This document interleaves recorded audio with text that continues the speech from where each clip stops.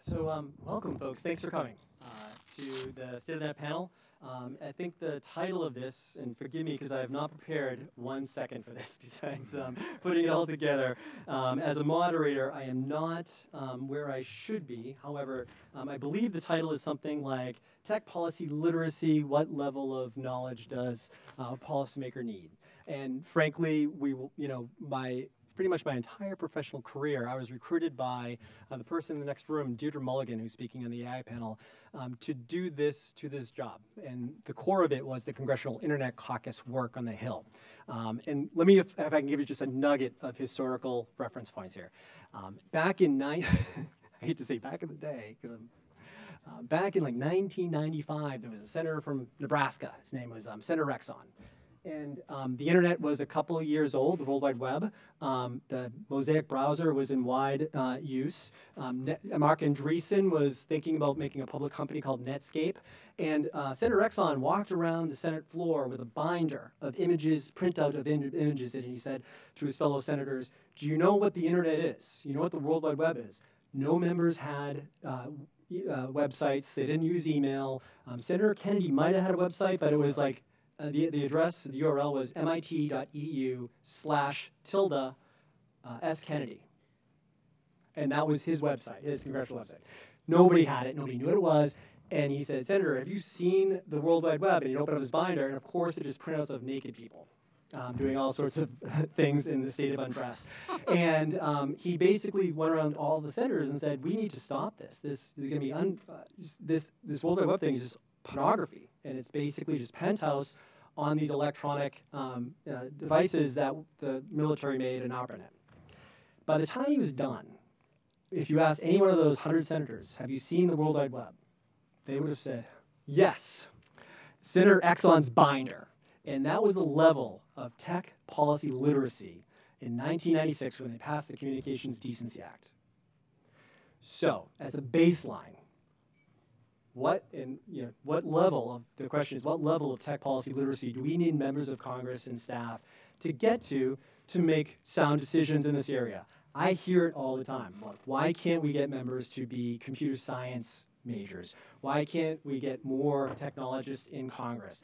And I think I think the question we have today, an honest question about how does this all work? How do members, you know, legislate? How do they, you know, intake information, and how do they come to the best possible decision with the amount of information um, necessary.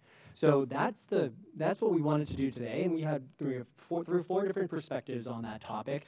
Um, I am totally unprepared, so if I say anything, um, I'll be just advocate, um, or I'll be a total like luddite. So I'm perfectly suited to be a, a moderator for this. So let me introduce the, the folks that we have. Next to me is Daniel Schuman, who's the policy director for Demand Progress. Um, he leads, uh, leads their efforts on um, accountability and transparency. Um, Will Rinehart um, is the director of technology and innovation policy at the American Action Forum, and Will uh, and I go back a long way. Um, Stacey Hutchinson, who we really appreciate um, coming. Uh, Stacey is with uh, the newly named Monument Advocacy.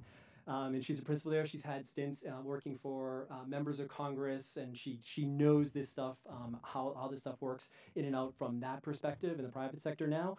And then Lorelei Kelly, and Lorelei is a senior fellow and director at the Beeck Center for Social Impact and Innovation at Georgetown University. Um, she leads the Resilient Resilient Democracy effort there. So that's our that's our panel.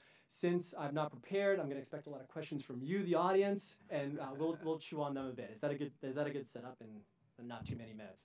So let me, if I can, just start perhaps with, um, I did note that in 1996 when the Communications Decency Act passed, literally no, no United States senator had any idea what the internet was. And that's why the Congressional Internet Caucus was created to be like, okay, this internet thing has potential, maybe you shouldn't kill it. Um, it, was a, it was a modest proposal.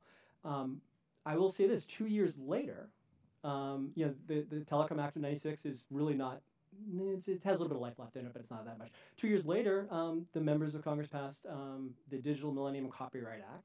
They created Thomas in that time frame. There seemed to be a lot of early work, despite a total lack of understanding of the internet. There hasn't been a tremendous amount since, um, but you know things can get done in a total vacuum of knowledge.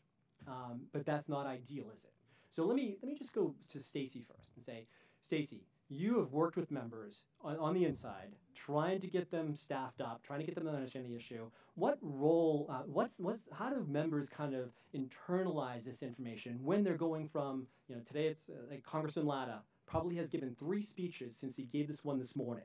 He's probably on his third speech of the day, and he's probably talking about some obscure tax proposal.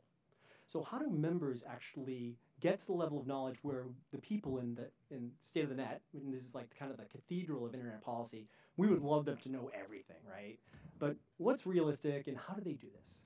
Uh, they do it by staff, right? So every congressional office, House and Senate, has a number of different staff um, that are experts on these different issues, and I use air quotes to say experts because usually a um, legislative assistant um, or legislative director will have you know two or three issues um, at, a minimum in their portfolio, but um, the the members themselves really rely on the staff to get up to speed on issues when they need to be up to speed on the issues, right? So if we're talking about um, the National Defense Reauthorization, maybe they're not super focused on data privacy that week. Um, but when data privacy is up and they're you know going through it in committee, they are reading the members. They are reading a lot of different reports, a lot of different um, perspectives from industry, from different um, industry groups, from governments. Um, you know GDPR, for instance, from foreign governments. Um, they'll you know really go to school and, and take that to task so that they can you know understand what they're going to be talking about, whether it's during a speech or in a committee hearing. Um, and to take that a step further, I think obviously the staff is getting their information, you know, yes, from reading um, a ton, whether it's online or CRS reports or American Action Forum reports. Um, but they also rely heavily on industry um, to come in, the businesses that are actually um, putting this, these technologies into practice and putting these uh, regulations and laws to work um, and how that's affecting their business, how that's affecting the technology that they're running um, is all very important. And I think that that you know that um, role is really beholden to the industry and the representatives um, to come and educate the staff members and you know de facto the members of Congress themselves.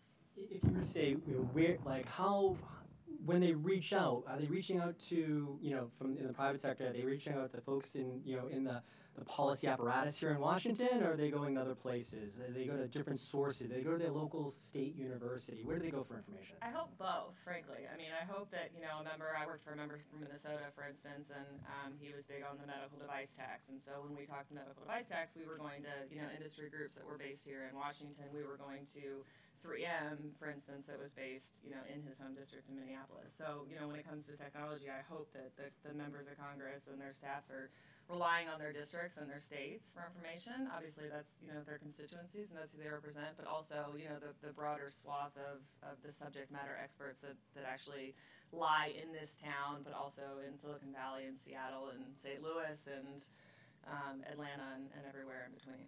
So Lorelei, you've done a lot of work on um, trying to trying to funnel expertise from specific districts to the members, like intake of information and decision making. Um, I think one thing that people that don't understand civics is that we live in a representational democracy. Um, and members of Congress come from different places, um, and they, their constituencies aren't, they don't look necessarily, unless you're Eleanor Holmes Norton, like Washington, D.C. That's for sure. Um, can people hear me? I'm going to. Uh, so uh, I came to DC from Silicon Valley, and it just occurred to me when I got interested in technology um, the lexicon itself, which you just mentioned, is huge. Just think about it. In California, a hacker is an artist. In DC policy circles, it's often a word for a criminal. In California, disruption is a business plan. In DC, it's a whole category of national security threats. In California, a carrier is Verizon. And in DC, it's a big landing strip in the ocean for Navy jets. Um, I've actually had these conversations in between California and DC. I think what we're seeing now, which is a huge opportunity, is um, with this last election, you've got uh, uh, uh, members of Congress who are newly elected who sort of hit escape velocity uh, as soon as they got into Congress. They're revolutionizing Instagram and bringing the American public along with civics in a way that possibly only the musical Hamilton has done for us as a nation. Um, but you've also got members in there who still think that um, the tab key is a miracle instead of uh, tapping spacebar five times. So we've got a, a, ch- a, chance now here in DC, and I think that this community is extremely important right now. And I'm assuming most people here are around DC because proximity will always be most important for Congress because politics is about relationships that will leverage technology. It's not going to be the technology that leverages the relationships. And so I would just put that out there as the chance we have right now. There's a new special select committee on modernization. This is huge. Uh, the president signed the Open Government Data Act into law two weeks ago. This is huge. How do we bring the first branch of government along with that? And finally, uh, Congress has agreed to bring back a partial uh, technology capacity at Government Accountability Office. These three things I always view sort of like the trifecta of bringing Congress into the 21st century. So that's something we can talk about. Okay, um, and just keying off of that, like um, Daniel and Will, um, there seems to be I, a lot of these conversations say we can solve these problems if we just build more kind of infrastructure and institutions. Um, we've gone through a period recently where Congress seems to not want, want to build a lot of institutions and bureaucracy and, and, and those type of capacity. Let's be honest. Like it's the, the Congress heretofore for the last several years has not has been said, but well, let big, big big government, as Reagan would say, is, is the problem. So let's not make more government. Um, but is there things that you know Congress can do to kind of better their intake on information and make more sound decisions? And what level of tech literacy do they need to get to? Want me to start? Yeah, please. So, so first of all, just just make this. How many people in this room are have worked on the Hill? Would you just raise your hand? All right, this is helping. How many people in this room are lawyers or lobbyists?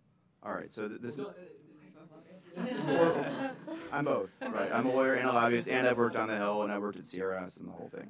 So I mean, so this, so just a couple points to start. There are a thousand fewer House committee staff now than there was 25 years ago.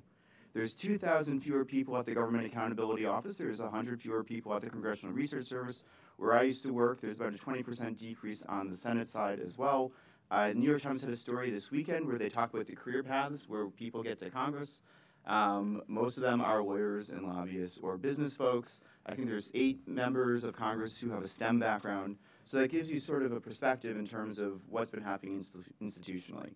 And one of the things that happened institutionally uh, almost 20, 20 years ago now uh, was the demise of the Office of Technology Assessment, which is one of the things uh, that I think that we'll be talking about. And, and like Lorelei hit the Open Government Data Act, I lobbied on that legislation. Select Congress, I call it the Fix Congress Committee. You know, like this is an opportunity to change things. It's not the only place. Um, but for many years, Congress was advised by uh, an authoritative, independent agency called the Office of Technology Assessment, and its purpose was to help make Congress smarter about technology. Now, there are other folks who have this responsibility. Of course, the committees have this responsibility through their staff, and individual members have these uh, sort of these capacities as well. But OTA's job was sort of analogous to CRS, which was uh, so CRS provides uh, timely uh, advice on matters of importance before Congress. GAO provides sort of watchdogging investigations. They do sort of in-depth research. And OTA created sort of long-form investigations where they brought in all the stakeholders, assessed the issues, and provided a menu of options for policyholders. Uh, and when I testified before Leg Branch Approps last year, one of the striking things that came out was this is the most requested thing that the Democratic members of the House had asked for. Hundred and something members of the House had put in their appropriations requests to restore funding for OTA. So it's worth remembering why it was killed. It was killed for two reasons. One was the idea that, well, you know, government needs to be smaller, so we're going to start at home. Uh, well, I can tell you that you know that has happened, and then in spades, the House of Representatives, in terms of its funding, is 10% below uh, 2010 levels. Like Congress is, you know, appreciably smaller, but the executive branch is appreciably larger. So the ability to oversee all the things that are happening, Congress is like sort of the oxygen in the room for them. Their expertise, like all that has diminished as a consequence. And one of those pieces, of course, is OTA. So the, the theory is bring it back in some fashion. Some folks simply want to like like balloon blow back up the thing that was that was demolished. Oh, I should mention the other reason it was killed off uh, was to empower industry and to weaken independent congressional expertise.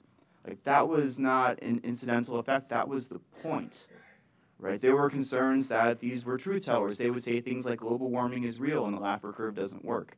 Uh, and people didn't like this. This also killed off a division of CRS, by the way. The, there's a reason there's no economics department. Uh, it was killed off because they would say things like the Laffer curve is not real. And, and members of Congress didn't like the idea of having these types of truth tellers. Uh, so the idea is to have, again, technologists, experts, uh, people who can provide neutral, independent advice to help Congress understand these issues so that when you look at internet policy, which was something that was funded through DARPA, that Congress, you know, Al Gore went around saying he invented the internet. Well, he didn't invent it, but he was responsible for creating it in large respect by putting the funding towards it. Like a lot of these innovations are driven through congressional attention, and OTA is something that can help sort of uh, create the roadmap or, or identify the landscape so that members can better understand the types of things that are the challenges that will be facing them. Sorry, that was very long, but, no, but no. hopefully that helps. Phil, if you have any um, perspective on the Yeah, so I mean, it's. I guess the, my feeling about, I mean, I know we have been talking a lot about OTA. I've written a lot about it. Daniel's obviously written a lot about it as well. Uh, to me, it seems like, and, and I think actually you laid out some of the major problems here. That OTA really is a the, the fall of OTA. I think is a symptom, not necessarily itself a cause. Um, you know, there has been a clear decline in the number of staff that you've seen at the congressional level. You've had, uh, especially like Senator Lee, talking about about trying to reinvigorate um, the congressional uh, Congress as being kind of a the leader in this space. But at the same time, you've seen a decline in the number of staff. The it's not necessarily a winning political argument to say that I need more staff and I need to spend more money. So there is also this tension I think that we need to be very cognizant of that politically that um, that the optics of these sorts of things of, of, of even embedding more intelligence in in Congress may seem like a good thing to us, but optically, politically, it's not really the best winning argument. You know, people just I mean, I've heard a lot of this from from from you know from politicians even at the local level that you know saying that we need more support and we need more staff is just it's just a it's it's a tough sell for a lot of people, and you're not going to be able to sell this to to local constituencies. Now, that isn't to say that we don't need expertise. I'm just saying that the pressures are also, I think, very, very important. The one thing I'd mention about this, which, I mean, we talk about 1996, and I think it's kind of an interesting, um, it's really an interesting time because 1996, and there's really been some very interesting work done on this, seems to be the point at which congressional offices themselves sort of switched and changed what their actual kind of functions actually seem to be that when we think about congressional offices now and, and committee staff, there's a lot of communication staff because you're constantly trying to deal with, you know, the 24-hour news cycle. The fun thing that I, you know, this is a small side note, the 24-hour news cycle used to mean that you had 24 hours to figure out what was going on before you had to deal with the news cycle, which uh, when I started learning about that, I was like, wait a second, that's not how I know it. But that's what we've gone to. We've the the media landscape has changed the demands of what a political office needs to output, and part of that output is communication. And what that communication necessarily means, and I hope we'll get, get a little bit into this, is that some of the things that you're going to be doing um, will be optically driven. And I think the the big highlight for me is that, for example, we had a, a recent hearing about about Google, and there was a lot of criticism uh, about the members and the members using this time to effectively like say, you know, why are my Google rankings so low? Or, you know, why is it that I don't seem to be appearing very high in Google rankings? Well, it's because the individuals um, at the end of the day are very driven by this sort of news cycle. So I think that at least, and I hope we can get a little bit more into this, I think we need to parse out these questions of, of policy from broader questions about politics. We care a lot about policy and we should care about policy, but we have to be understanding that there is a political environment that you have to survive here. Yeah, so Stacey, um, that's a good question about um, you know the hearings, right? Like, how do how do members get to Washington? Like, this is a bit of a like they get elected, right? And I mean, we also have to realize that there are two people. They're they're sound. They're making sound policy. Um, they're trying to make sound policy, but they also need to. They want to be say elected, but their constituents. Is that right?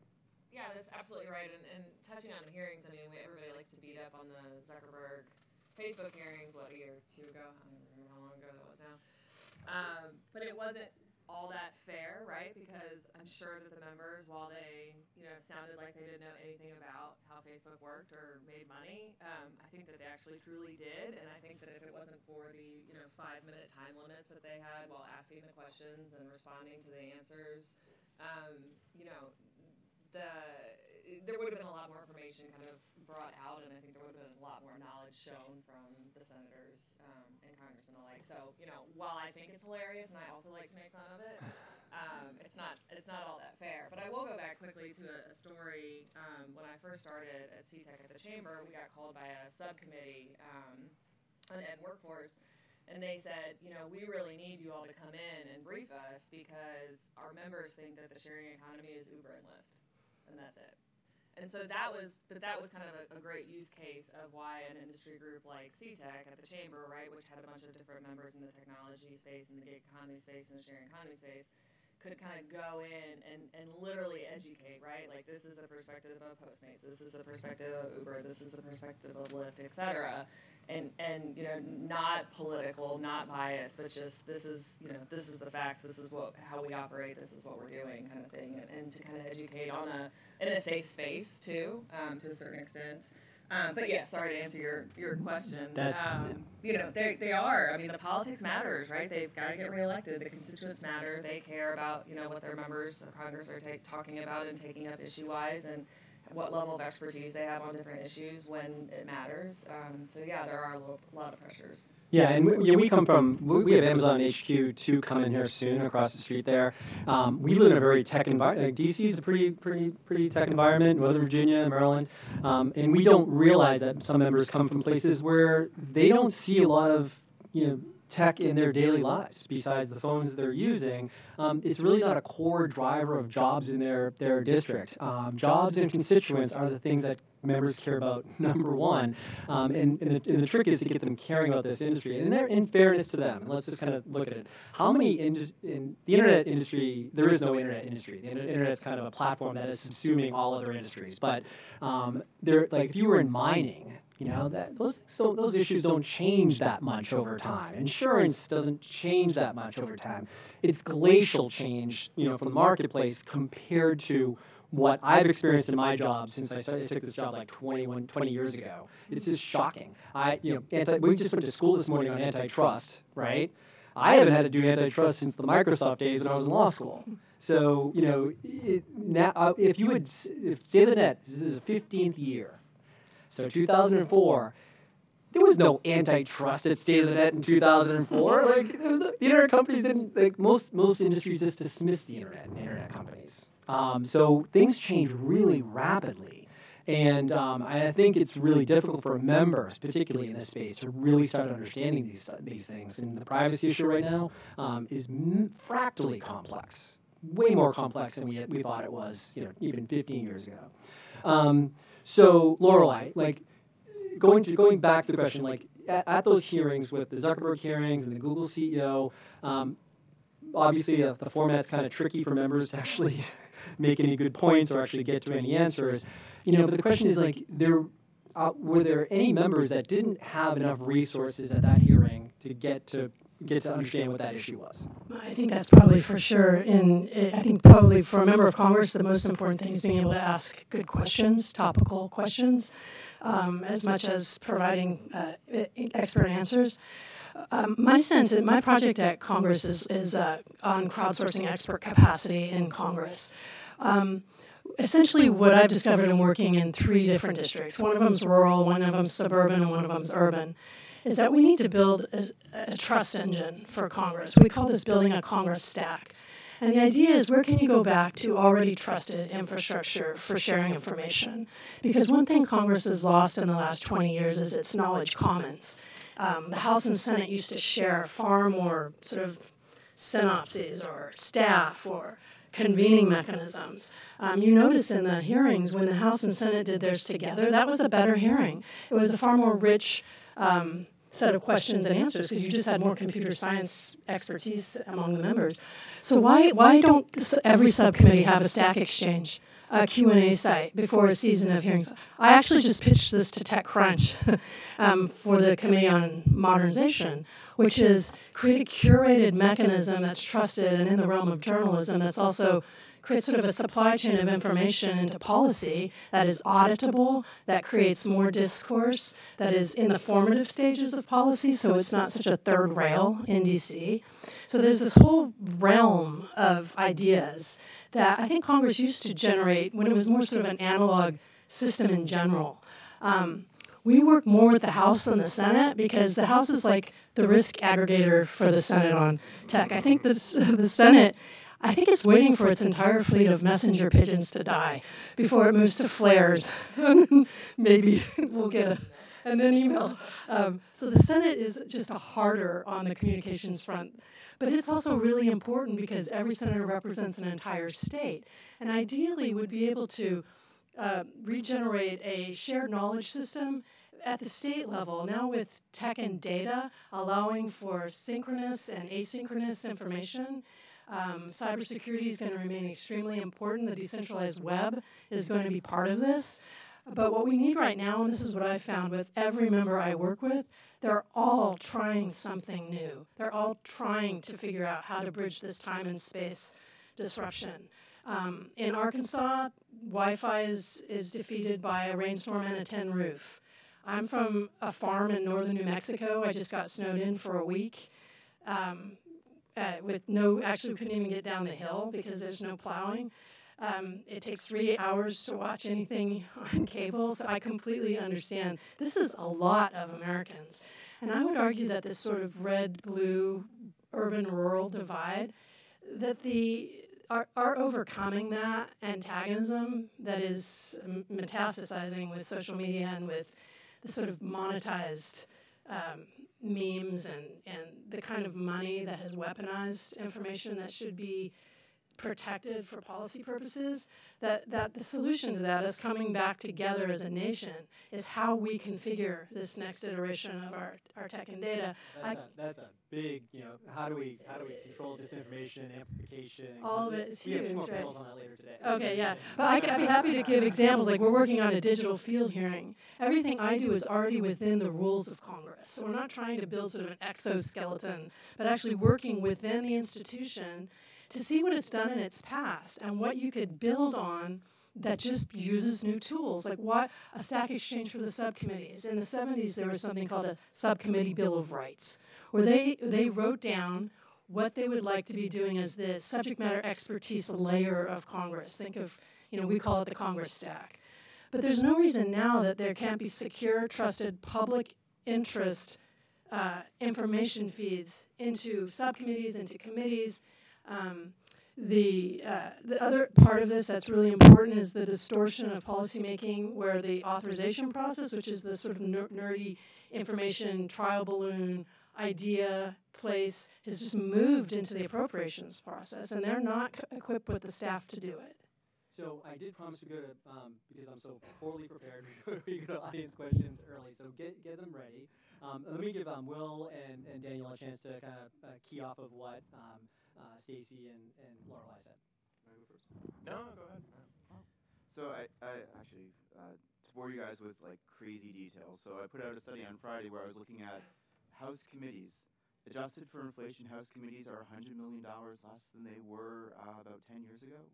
So uh, down by about a quarter. So when, when Lorelei is talking about like all these different interesting ways of approaching things, you have to realize that they're doing this with a, such a smaller piece of the pie.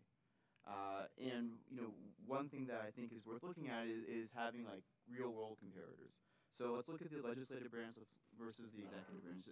A lot of what Congress has created has been in response to not trusting the executive branch. So you've got the American Law Division of CRS, where I used to work, because you don't trust the lawyers at OLC, and you've got CBO because you don't trust OMB.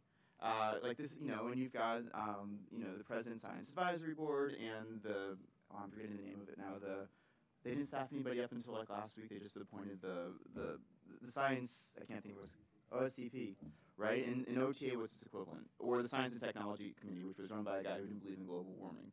So like that's like that's the analogs that we're dealing with.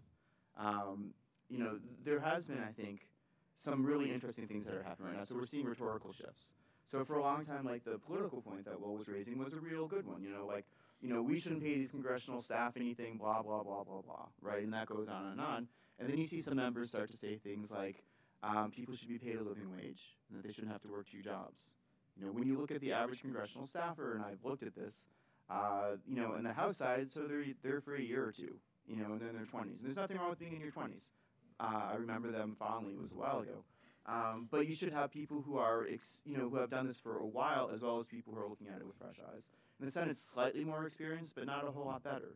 CRS is churning staff out. The government shutdown is going to it changes the, the calculus for, for the way a lot of staff look at what their career path is. Uh, so all of these things sort of factor into what it means yeah, what it mean, what it means for Congress to be competent. Daniel, you're making me impressed. So, so, so, so the hope is By that. the way, so- um, so we, we, did, we did look at, Yeah. uh, in addition to staffing, Yeah. uh, we did look, um, la- the last Congress was in session about like 18% less. They were here in the city 18% less than they had been, you know, eight years prior. So, so the good news, and there is good news. One is that the, the House rules themselves have changed significantly. The Democrats, when they came in, as did the Republicans 10 years ago when they came in, have modernized the way it functions. Uh, and there is real desire. We saw this through the last Leg Branch Approps process that the Republicans led. We're going to see it again with the Democrat led. There is a real desire to put money back into this. So there is there is a desire to address some of the underlying capacity questions and address some of the underlying technology questions. So there is that kind of sea change that's. And, and as devil's advocate, um, and I'll hand that off to, to Will, um, yeah, there's an argument to be said that more staff, more resources don't necessarily, you know, contribute to better policymaking. There's a theory out there. Um, and, you know, other countries are run like that. Like Australia is, like, it's basically run by uh, autocrats or technocrats, I'm not quite sure what the word is. Um, and people take issue with their decisions on these issues. You know, the same in the European Commission. Um, so, Will, I mean, is it all, is it all, does it all just mean we need more time here in Washington and more staff and more resources, or No, I, I so I think these highlight two real problems here. So one thing that I would say is that you know before the expert question or expertise question, I get to that. The, the one thing I think that Congress actually could do is um, conduct surveys of their own staff, like the rest of the federal agencies do. You know, there's this federal agency survey that anyone that's worked in a a um, executive level um, agency typically has to take. So something along those lines that's consistent. That's just figuring out what what people actually need, the kind of resources they need, how they're feeling about their jobs. You know, it's it, it just very minimal HR work. Actually, probably just needs to be done at a very base level. Then we can figure out. I mean, about these about the uh, salary problems that you're clearly talking about. Um, that's also another issue I've heard from number staff members. I mean, I think I probably would be working on the Hill if it weren't for the fact that you. It's actually just quite difficult to live in this city and to be at a you know at the level that I would probably be at. But more about this expertise issue, I think that we need to think critically about what the outputs of this kind of expertise process is actually going to look like. What are the goals that we're trying to to maximize? Are we just trying to maximize more, you know, more legislation? That to me isn't necessarily the best thing. Um, the fact that Congress is hamstrung means that they're not doing as much, which means they're not doing as many good things, but they're also not doing as many bad things. So the question of I think that we really do need to be thinking about critically is this is what is the output. Um, you know, the EU it has a lot of expertise. They have they don't have the kind of um, external nonprofit policymaking uh, relationships that we typically have here in DC. They're far more internalized. You have, you know, if you're typically an economist or somebody who's worked in technology, there's a much higher likelihood that you'll be able to go and work for work in Brussels. Uh, the output of that are some very, um, in some ways, very worrying pieces of legislation, I would say. And then, in fact, we do know that experts are pretty bad at predicting what's going to happen in the future. We also know that generally experts, at least in expert areas, typically aren't, you know, again, aren't just aren't that good about predicting what is um, what really should be the best course. And but that's not to say anything about experts. Not to say that that they're that they're any worse than anyone else. It's just that it's really, really hard to predict what we necessarily need in the future, how the laws, even if we do have a law or a proposed law, how that's really going to impact a larger society. You know, once it goes to the courts and how it's interpreted, how, what that actually means. So there, there's there's a lot of nuance here that that yes, I do think we should be talking about expertise, but the question is, where does that expertise get inputted and where does it fall within the larger decision making processes and to me that is that's a really really difficult question to to begin to answer Daniel wants a quick response. Then there's like five, seven, like there's tons of people in the audience that are eminently more qualified as moderators. Yes, yes. So let's go to some questions in the audience after Daniel's quick response. Yeah, so just just two things. One is that uh, most of the G uh, G15 countries have uh, an OTA-like entity that's actually modeled after our OTA, which is kind of interesting. Uh, and the other is that uh, you know I think that there everyone is entitled to their own opinion, but people aren't entitled to their own facts. That there are some things that are fundamentally a baseline about the world. We used, uh, this isn't funny, but this was a joke that we had at CRS is about, you know, like you would write these reports and you'd have to say things on one hand, people see, say the world is round, and other people, on the other hand, people say the world is flat, right? Like some, there are some types of arguments that there is value of having experts who can say things like, "There's value in having an expert panel." Like we didn't go and grab five people off the street to come up here. Like there there is utility in have. Well, maybe we did. I don't know, uh, but I don't think so. Uh, I mean, there there is value in having. Um, expert advice. That's the value of having industry come because they know their industry. That's the value of having folks, you know, so so while you know there can be an anti-expert argument made, so long as we live in a democratic system and we don't abolish Congress, um, there will be a need for Congress to have people to rely on uh, to figure out what's going on. I've not seen any recent proposals to abolishing Congress. I've got some stuff for you. I'm, I'm sure we have a bunch of questions for the speakers. I know that Rick Lane certainly does, um, and, and other experts like, uh, yes, please.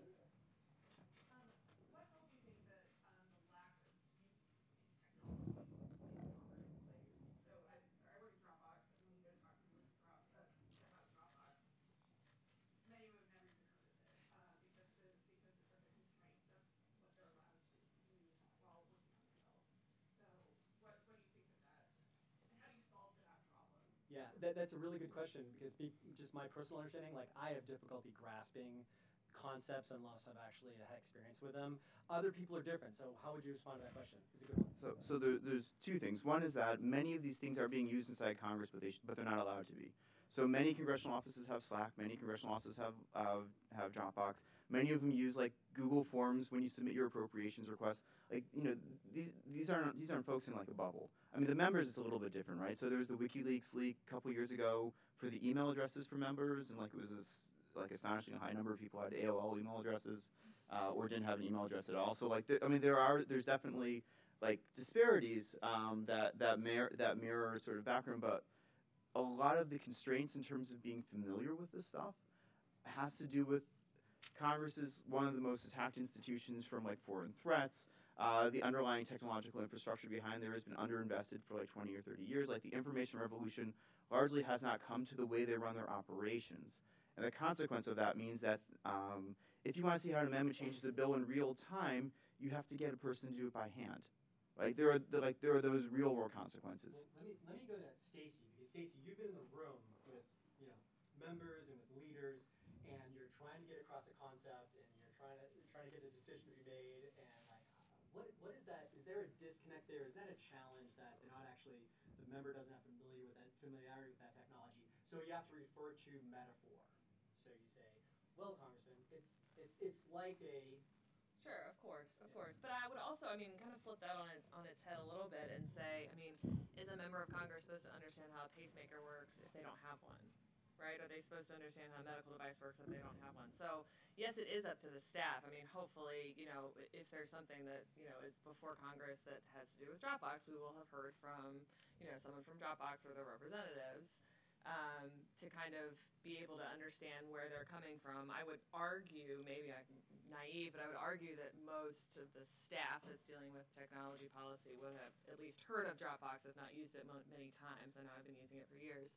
Um, but you know, it, it's up. It is up to the staff to use analogies. It is up to the staff to kind of liken it to different things. Um, but also, I think it's up to you know the members. I would hope, again, maybe naive, that they would take an interest and maybe seek it out a little bit, right? Like go read about it, go pull up Dropbox.com and see how it works, and see how you know some use cases um, you know would be applied to them, and, and not just necessarily in their congressional office, but how other constituents are using that service, or how other businesses in their district are also using it. Um, can I can I just follow up on one more thing? I, at the beginning, I said that you know Congressman Latta has probably already given three other speeches today in the time that he gave this one this morning on different topics that are you know equally complex. What is, what is the day of the life of a member of Congress when they when they come they fly in they flew in last night or this morning um, and then they fly out again on I don't know maybe th- Friday or something. What what is the day what is a day like for them? So- how, how much time do they have to ingest information and play around with Dropbox?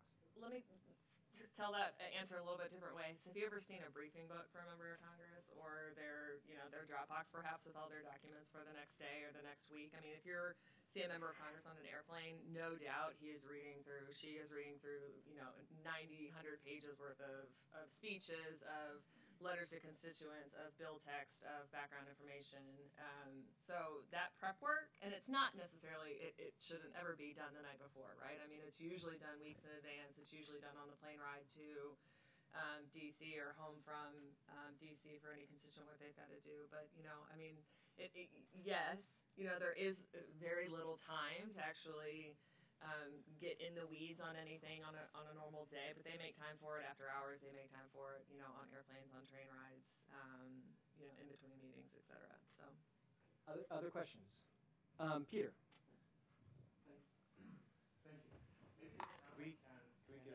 Oh, please, yeah. And, and Peter, can you just identify yourself? Oh, yeah, sorry. My name is Peter Vertelling. I'm working for a European Union delegation here, here in Washington. Maybe the panel can tell me a bit more how, how they see the role of the, the higher education and universities, both in providing staffers, you know, training them. Is, is an engineering or a law degree enough? Or what do you think about that? And on the other side, the university providing science and scientific output. Is, is this something which should flow in the process? Thank you. So yeah, I mean, I guess the question is why don't why don't members look at their like state university system as a, a great resource on these issues? Yeah. One of the first layers of this con- Congress stack that I look at in districts is the role of land grant and public university community colleges. The reason this is so important is that the original purpose of the land grant system was to bring in rural America into the best of modern knowledge um, why don't we have, and they created something called a cooperative extension program, which is the actual staff mechanism in thousands of counties across the United States to share that information and implement it in pilots with farmers, for example. Um, why don't we have a digital extension service right now? Why haven't we repurposed the public and land grant system for that? One of the reasons it's so important for this layer of our uh, trust engine for Congress, for policymaking, is that um, these schools have a much easier time integrating with and accessing Congress than anybody else. I know this because going from Georgetown, I talked to the ethics committee about projects I'm doing, and they say you can't do that, not at Georgetown. Georgetown's a private entity; it can't have access in the same way. The other, uh, the other entity that could do this are called the Federal Depository Libraries. Many um, many schools have them. Georgetown has one, so that's the way I could work as a faculty member there. But that's the best question you could ask. I mean, in the 90s, I think it was the Kellogg Commission, they did a whole revamp of thinking about the public and land grant system. And in the and I can send this to you. It's like a scanned PDF online. If, if you want to uh, Google it, I can send it to you, or I'll tweet it. Um, it is a really wonderful set of uh, recommendations for the public university system in this country to become this public serving, rapid response knowledge system. And the beauty of it for Congress is that it creates a uh, competitive political constituency um, for high quality knowledge. You saw this happen with uh, crowdsourcing or citizen science, by the way, with the Flint, Michigan water crisis. That was Virginia Tech partnering with families in Flint to come up with affiliated data that was structured in a way that was compelling to Congress. I think that how do we decentralize um, the knowledge functions of Congress? Um, and this is like a new division of labor for civics in the United States. Like, why aren't citizens already being included and asked to contribute more um, than just showing up every couple years to vote? Like, that's a really interesting question to ask, too, for citizens in the United States. Is yeah, so just, just three very quick things. Sorry. One is that this is a role for some of these support offices and agencies to play. So GAO and CRS should, but don't really look at this type of stuff. The second is that academics tend to operate on an academic cycle, and Congress operates on a Congress cycle, so they don't really communicate very well together. And oftentimes, academia doesn't know how to write things in a way that is actually useful for Congress. So, so I, uh, and we see, you know, like the UK has has different, like the the the Technology Assessment Office, they're actually just recently put out a study where they talk about how they're actually making use of the academic expertise that is arising outside, uh, throughout the UK. So this type of thing can be done, but it's not being done well right now, at least in the US. Um, I have a question from uh, Rick Lane. Can I actually? Go ahead, Rick. yeah, just one small comment. This is actually one of my major issues, and one of the reasons why I, um, when I was originally in academia, I kind of left it was because of this exact problem, at least in the congressional level.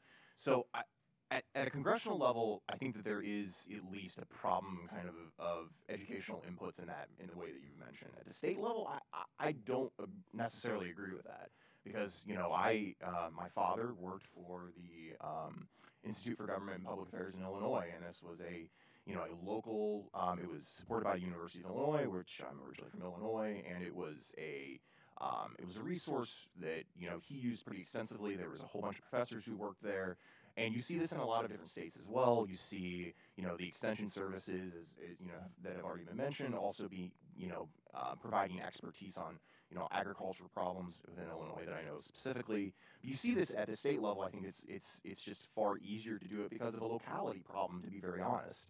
Um, now, you know, Georgetown provides some very, you know, good professors who are doing research in this space. You know, you have al- also GMU has kind of a function along these lines. GW, the the local um, and and American University as well, and Catholic, all those are actually very well. Um, they have a lot of really really great professors in Maryland that are interested in these pol- these issues. And in fact, some of my professors that I worked with at graduate level came to Maryland because they wanted to be closer to politics. So the local the local schools I think actually do a pretty good job of this. The question is, uh, is there expertise that's located elsewhere that could be integrated within this kind of larger knowledge system? That I think is still very much just a local kind of a local knowledge problem, and there's perhaps ways that we can kind of mitigate that and deal with it. But at the end of the day, I do think that at least at the state level, it's, pretty good. I think it's pretty good, all things considered. And at the federal level here, we still have again, we have a lot of expertise that's located here, and it's it's often it's often you know talked about or Yeah. talked to. This time next year, you'll be sitting in John, where you are now is Yeah. going to be Johns Hopkins University. Yep. Rick. Hi, Rick Lane, CEO of Iggy Ventures. I was the first chamber person hired by Tom Donohue to do tech policy specifically back in 99. So you can imagine what it was like back then and talk to chamber members. But Stacy, you hit uh, the nail right on the head about expertise. You know, Congress passes laws, but not every member of Congress is a lawyer. Congress passes a lot of policy that they are not experts in or didn't work for. And I think sometimes there's this mindset within the tech community that if you're only as smart as us, you understand how stupid you are, and we're going to do memes and point out how stupid you are, which is, I think, causing a lot of the backlash to the tech industry because these are policy issues. You know, you have a policy of cafe standards. I don't have to understand how a car works to say we want to have a policy of this type of mileage per gallon, or we want to do X, Y, and Z on policy issues. So I think too often the tech people focus too much on the tech side of it, understanding that there are complexities of privacy and cybersecurity and encryption, but at the same time, what members of Congress are trying to do is to set policies and then frame and figure out if the technology will work. We've gotten too much in the head, you know, far ahead where it's the you know legislating by code instead of legislating by policy and legislating by law. And I'm wondering if you think that tech backlash is really caused by some of the memes that we all like to laugh at, but members and, and staffers are really working hard on these policy issues, know these issues, they're solid on the issues, and I'm sure they don't appreciate the type of response they get from Silicon Valley and, and the tech community on you know Facebook and Instagram and every place else. Yeah, I totally agree with that. Um, and I think, I mean, you know, we could have a whole other panel on Techlash alone because I think that's a major problem. Mike, thanks. I think that's a major problem um, for technology companies because um, there are a million gazillion benefits that technology is is playing, you know, to our society and to every one of us sitting in this room.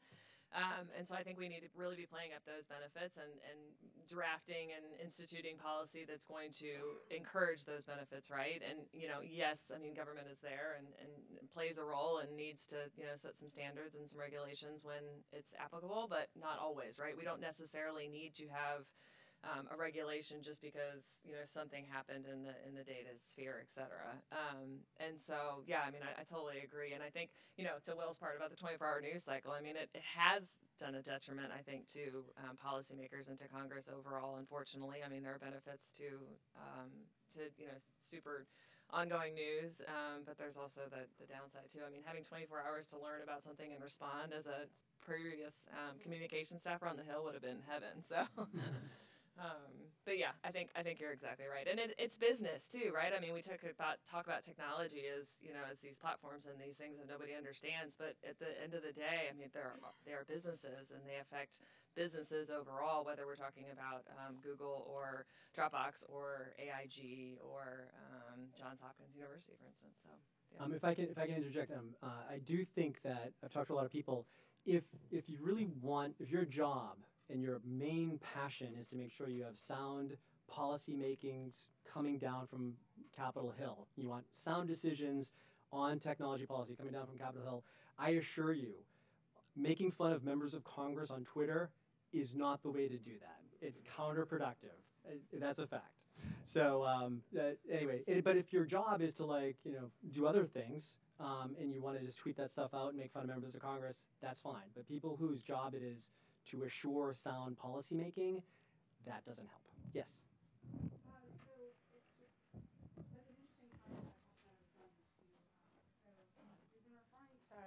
sorry. We've been referring to tech expertise in a sort of monolithic way. Broke down a little bit uh, in a more nuanced way with the question about academia as a source of tech expertise. But my impression is that a lot of times when people refer to outside tech industry expertise, they mean professional lobbyists hired by large tech companies like Google, Facebook, et cetera. And as someone who works in the tech industry, but not as a lobbyist, not as a CEO of a large corporation, but as someone who has hundreds of friends and colleagues who are professional programmers, product managers, documentation writers, et cetera, who all have a wealth of expertise and interest and opinion on these political questions. I think some of the making fun that you see is a form of frustration because they don't see themselves or we don't see ourselves as having clear paths to influence Congress um, or the owners of the corporations that are purporting to speak for the entire tech industry. So I'm curious about what role you see for congressional staff or these institutions in providing a better pipeline to, uh, I guess, everyday tech workers.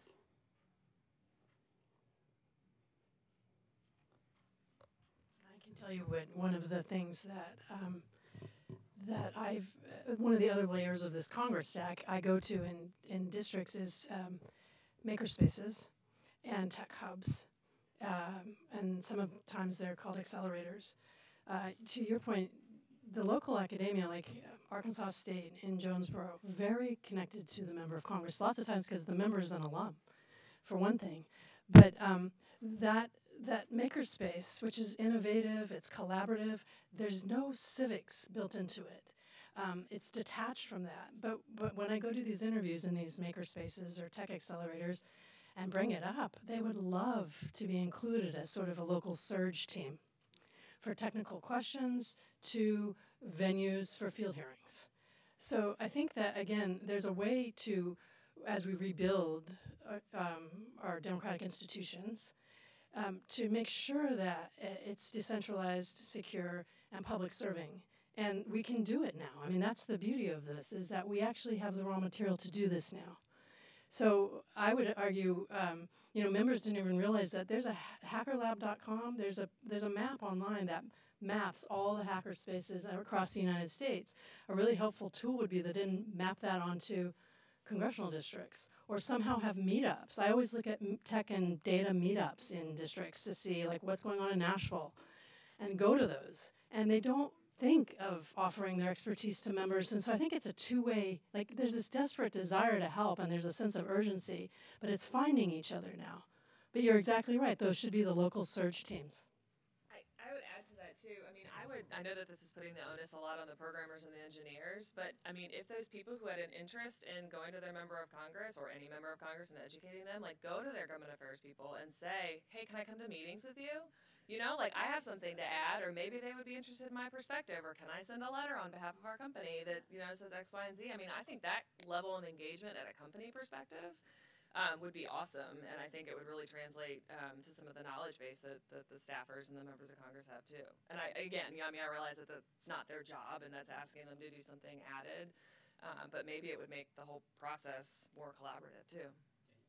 So I would just say, finally, like it's, it's useful to have people who are like you on the other side, right? So like Travis Moore is running TechCongress, which is an effort to get people who are technologists to go and work for Congress. Congress itself isn't funded well enough to to pay, pay folks the salaries that they need, as you know. Um, but you know, people who work for Congress and help help members think through the different issue sets, ideally should have some background or expertise in the in the matters in which they're in which they're working. Uh, and people will often, you know, if Congress is staffed largely by lawyers, then we're going to think in the box of lawyers. And if, we, if you have, you want to have people who have different backgrounds who are able to talk and understand the different ways to engage with people outside. So that, that, that applies when they play the music and they tell you you're done. but basically, I'm sorry. You had a good. Had, a lot of people had questions. I apologize. Um, I need to ask you all a favor. Um, in about five minutes, down in the main plenary room, we have Congressman Jim Langevin and, and CEO uh, Corey Thomas from Rapid7 to do a, a pre-lunch um, keynote. So if we could all go down there and actually for the pre-lunch keynote, and then, then we can have lunch. But before that, I want to thank this amazing panel who basically showed up. I emailed them on Friday basically to show up. I told you this. so. thank you. Thank you, Daniel. I really appreciate it. Thanks so much. Yeah, I mean, like, was- it's- was okay.